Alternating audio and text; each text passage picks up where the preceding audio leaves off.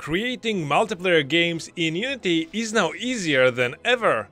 Just create a new Unity 6 project, from the top menu select Window, Multiplayer and Multiplayer Center. It's a wizard where Unity asks you a bunch of questions and suggests which multiplayer related packages you need to add to create your project.